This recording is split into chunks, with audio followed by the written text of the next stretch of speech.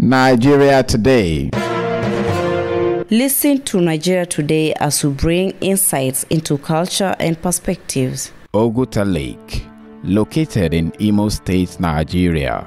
The Oguta Lake is a significant natural landmark that holds great historical and cultural importance. Oguta Lake was believed to have been formed over 100 years ago as a result of natural occurrence, making it one of the oldest natural lakes in Nigeria. Historically, the Oguta Lake has been an essential source of livelihood for the locals of the community. Fishermen and farmers living around the Oguta Lake depend on it for their daily subsistence. The lake has also served as a means of transportation and trade for centuries. Oguta played a crucial role in the pre-colonial trade of goods and services in the region. As a focal point for religious and cultural activities, Oguta Lake is the home of the deity Oguta, who is highly revered in the local community. The lake is a place of worship for many traditional worshippers who come to pay homage to the deity.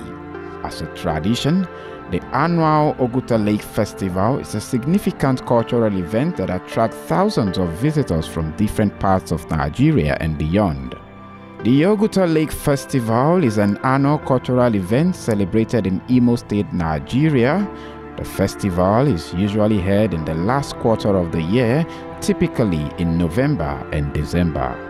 Oguta Lake Festival is a celebration of the rich cultural heritage of the people of Imo State and showcases the diverse cultural practices of different ethnic groups living in the region.